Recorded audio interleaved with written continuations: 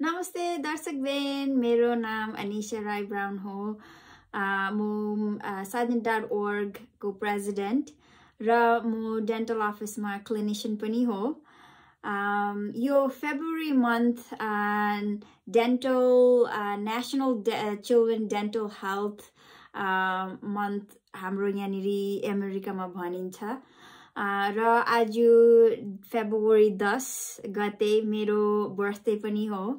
र हरेक साल म केही न केही मेरो अर्गनाइजेसनबाट आजको दिन म गर्छु र जति सक्दो गर्नु गर्ने कोसिस गर्छु। र यो पालि चाहिँ अब कोभिडहरूले गर्दाखेरि हामीहरू अफकोर्स बाहिरतिर जानु सकिएको छैन। घरमै हुनेले गर्दाखेरि चाहिँ मैले यो छोटो भिडियो तपाईँहरूको अगाडि ल्याउने कोसिस गर्दैछु।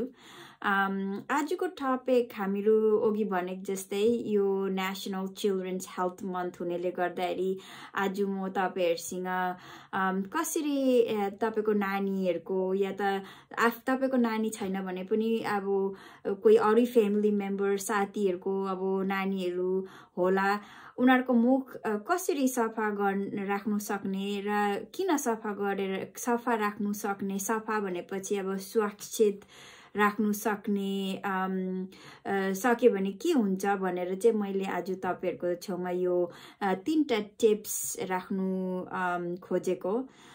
फर्स्ट टिप्स चाहिँ म भन्छु हेल्थी इटिङ त्यो भनेको मतलब चाहिँ नानीहरूलाई तपाईँको नानीहरूलाई हमेसा खानाहरू सफा र हेल्थी आजी पकाएकोहरू यस्तो दिने लाइक थुप्रै फल फ्रुट साग सब्जीहरूसँग अब साग सब्जीहरू दिने बेसी त अब मिठाई गुलियो चिजहरू यस्तो चक्लेटहरू चाहिँ जति सक्दो अब नदिने नै प्रयोग गर्ने अब दिइहाल्नु भए पनि अब त्यसलाई क्या त अब दुईवटा तिनवटा चक्लेट नदिएर एउटा मात्रै दिने या त चक्लेट खाएपछि लु त बाबु यो एप्पल पनि खाऊ भनेर त्यसरी भन्ने होइन?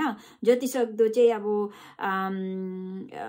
बेसी चाहिँ अब फल फ्रुटहरूकै नै तपाईँले अब दिने कोसिस गर्नु चक्लेट क्यान्डीहरू भन्दा पनि। किनकि तिनीहरूले चक्लेट क्यान्डी या त केही अब बिस्कुटहरू भयो अरे तिनीहरूले बेसी बेसी त नानीहरूको या त हाम्रै अब ठुलै मान्छेको पनि दाँतमा किरा लाग्नु सक्छ। र त्यही लागि जति सक्दो गुलियो चिजहरू या त पिउने गुलियो चिज हो या त खाने गुलियो चिज भए पनि उनीहरूलाई जति सक्दो नखानु नै भन्ने प्रयोग गर्नु होला घरमा। अन्त चक्लेटहरू यस्तो गुलियो चिज दिइहाल्नु भए पनि तपाईँहरूले यस्तो क्या त अब कपमा पानी पानी दिनु दिने गर्नु। किनकि पानी खाएपछि चाहिँ के हुन्छ भने गुलियो चिज खाएर पानी पानी खानुभयो भने चाहिँ मुखलाई सफा हुन्छ। त त्यहाँदेखि फेरि गुलियो चिजले हाम्रो मुखमा बेसी एसिड बनाउँछ। त्यो किन बनाउँछ भनेको भने चाहिँ जुन चाहिँ हाम्रो मुखमा ब्याक्टेरिया हुन्छ त्यो त्यो ऊ ब्याक्टेरियाले चाहिँ गुलियो चिजहरू मुखमा छ भने उनीहरूको एकदम पार्टी हुने जस्तै हो क्या त। अन्त उनीहरूले तपाईँले अब गुलियो चिज खानुभयो अरे दाँत पनि मोल्नु भएन अरे पानी पनि पिउनु भएन अरे त्यसको भने मतलब तपाईँको मुखमा थुप्रै गुलियो सुगरी चिज हुनेले गर्दाखेरि चाहिँ ब्याक्टेरियाले पुरा मजाले त्यो सुगरबाट अब उनीहरूको पेट भरिन्छ र उनीहरूले सुगर खाएपछि उनीहरूको बाई प्रडक्ट जुन चाहिँ हुन्छ त्यो एसिड हुन्छ।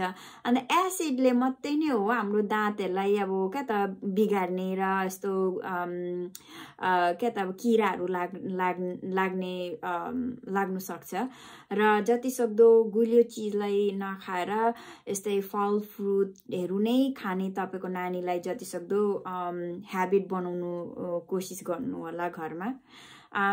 नम्बर दुई नानीहरूको ब्रस दाँत हमेसा क्या त तपाईँले नै मोल्ने कोसिस गर्नु। अब सानो हुन् हुन्जेल अब उनीहरूले आफै गर्नु थाल्यो भने त अब ठिकै छ। त्यतिखेर चाहिँ अब तपाईँले अब हेर्नु कसरी गर्दा रहेछ गरे कि गरेन। अन्त त्यो चाहिँ अब तपाईँले सुपरभाइज जस्तै गर्नु पर्यो होइन? अन्त तपाईँले जब ब्रस गर्नुहुन्छ नानीको नानीको मुख अब सानो हुँदा त आफैले गर्नु पर्यो नि त। त्यतिखेर चाहिँ एकदम यस्तो ब्रस तपाईँले युज गर्नु हुँदैछ भने चाहिँ एकदमै क्या त सफ्ट भन्छ नि एकदम मुलायम एकदम क्या त यस्तो किन्दाखेरि त्यो प्याकेटमा लिएको हुन्छ कि सफ्ट या त अल्ट्रा सफ्ट भनेर लिएको हुन्छ त्यो मात्रै नै किन्नुहोस् होला। भनौँ भने त हामीले अब हाम्रो अडल्ट अब हामीले ठुलो मान्छेहरूले पनि त्यो के भन्छ त्यो सफ्ट नै युज गर्नु राम्रो हो। हार्ड या त मिडियम भन्दा किनकि त्यसले हाम्रो दाँत र गिजालाई बिगार्छ।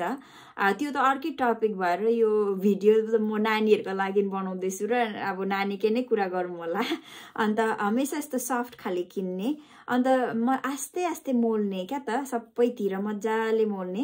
दिनमा दुईपल्ट बिहान र बेलुका सुत्नुभन्दा अगाडि खानासाना खिलाएर मोल्ने त्यहाँदेखि बे अब दिउँसो पनि अब भयो भने आफ बाह्र बजी आफ्टर अब लन्च खाएर पनि तपाईँले मोल्नु सक्नुहुन्छ टाइम छ भने। छैन भने चाहिँ बिहान र बेलुका चाहिँ एकदम मस्ट गर्नै पर्ने कुरो हो यो। अन्त अब नानी भर्खरकै छ र दाँतहरू निक्लेको छैन भने चाहिँ अब तपाईँहरूको काम हो। यो चाहिँ क्या त अब सफा हातले मजाले हेर्ने मुख मजाले दाँत गिजा सबै कुरा यसरी गरेर हेर्ने। किनकि यसरी अब छोएर गऱ्यो भने चाहिँ अब त्यसमा अलिकति केही अब केही अब अब यस्तो क्या त गिजातिर केही भएको छ भने चाहिँ तपाईँले चाल पाउनुहुन्छ नि त। अब नानीले त अब चाल पाए पनि भन्दैन होइन? भन्नु सक्दैन र तपाईँको काम हो त्यो चाहिँ। यसरी सबैतिर मजाले अब हुनु त अब नानीले दि दिनु त दिँदैन होला तर पनि अब जसरी भए पनि गर्नु गर्ने चाहिँ तपाईँकै काम हो होइन? मजाले यसरी हेर्ने। अब कहिले कहिले चाहिँ के हुन्छ भने नानीको दाँतहरू त्यसरी उम्रिँदैन क्या त। अलिक ढिलो उम्रिन्छ या त अब अब ढिलो उम्रिँदाखेरि चाहिँ अब नानीलाई बिचरा दुखेर हुन्छ। अन्त त्यही लागि चाहिँ अब तपाईँको काम हो अब यसरी हेर्ने उम्रे कि उम्रेन कि दाँत के हुँदैछ भनेर अन्त त्यसरी गर्ने। अनि त्यसको पछाडि चाहिँ अब तपाईँले आफ्नो नानीलाई डेन्टिस्टकोमा चाहिँ हमेसा लाने कोसिस गर्नु गर्नुहोस् होला अब कति अब यहाँनिर अब मेरो पेसेन्ट्सहरू छ जो अब पेरेन्ट्स अब जस्तो आमा बाबाहरू हुनुहुन्छ उनीहरूले मलाई सोध्छ कि कहिले ल्याउने हो मेरो नानीलाई अब dental appointment first dental appointment कहिले हो भनेपछि अब किताबले भन्छ छ महिना भनेर। एक फर्स्ट बर्थडे हुँदा हुँदा त्यो लिएर आउने क्या त लिएर जाने जरुरी नै हो फर्स्ट बर्थडेभित्र नै लिएर जाने हो। तर म के भन्छु भने छ महिना। किनकि छ महिनाभन्दा अगाडि अब अफकोर्स दाँत त हुँदैन नानीको तर हामीले के गर्नु सक्छौँ भने अफकोर्स अब हेर्ने त्यही अब केही हुँदैछ कि दाँत उम्रिँदैछ कि राम्ररी उम्रेको छैन उम्रेको छैन भने के गर्नु सक्ने? अब यस्तो अब कति कुरोहरू नानीले भन्नु सक्दैन र अब हामीले हेर्नु सक्ने र हेरेर तपाईँहरूलाई भन्ने त्यो हाम्रो काम हो होइन? अनि त्यही लागि चाहिँ म छ महिना भन्छु। तर अब अब न्यु न्यु पेरेन्ट्स हुनेले गर्दाखेरि कति अब हामीले बिजी भएर बिर्सिन्छु र त्यसले त्यस लागि चाहिँ म भन्छु डेफिनेटली बिफोर फर्स्ट बर्थडे त्यो भनेकोमा चाहिँ उसको तपाईँको नानीको फर्स्ट बर्थडे हुनु भित्रभित्र नै ल्याउने कोसिस गर्नुहोस्। किनकि छ अब फर्स्ट बर्थडे हुँदा हुँदा त उसको तिन चारवटा दाँत त भइसकेको हुन्छ। एटलिस्ट लाइक अगाडिको दाँत त भइसकेको हुन्छ नि त। अन्त त्यही लागि ल्याउनु चाहिँ जरुरी छ।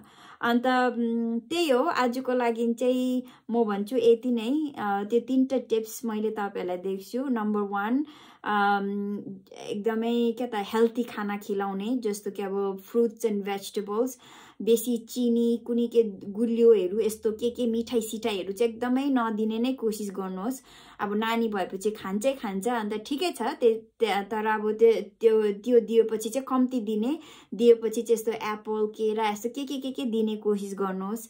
त्यहाँदेखि अब गुलियो चिज खाइहाल्यो भने पनि या त पिइहाल्यो भने पनि अब क्या त के अरे पानी पिलाउने चाहिँ कोसिस गर्नुहोस् आफ्ट उसको पछाडि किनकि पानीले मुखहरू सफा गर्छ होइन? अन्त दुई मैले अघि भनेको जस्तै दाँत एकदम मजाले मोल्ने दुईपल्ट। मैले यो अब रिक्याप जस्तै गरेको तपाईँहरूको लागि। मजाले मोल्ने आस्तेले सबै कुरो हेर्ने होइन? त्यो तपाईँहरूको काम भयो।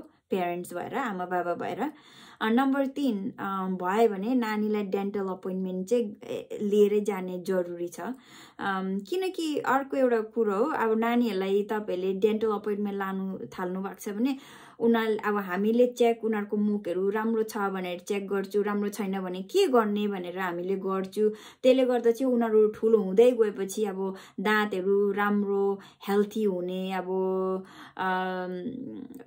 हुने अब सम्भावना हुन्छ होइन? अन्त त्यही लागि चाहिँ अब हेल्थी दाँत आफ्नो मुख सफा छ दाँत सफा छ भने उनीहरूको जिउहरू पनि सफा हुन्छ। किनकि त्यो के भन्छ ओभरअल हेल्थ जस्तै हो नि त। अब मुख राम्रो छ भने जिउ सफा हुन्छ जिउ सफा छ भने मुख राम्रो हुन्छ। अब त्यो त अर्कै टपिक अर्कै भिडियोमा म तपाईँहरूलाई अझै अलिकति डिटेल्समा भन्छु होला किन भनेर। तर अहिलेको लागि चाहिँ यो तिनवटा टिप्स तपाईँको नानीहरूको लागि। ल त धन्यवाद यो भिडियो हेर्नुको लागि।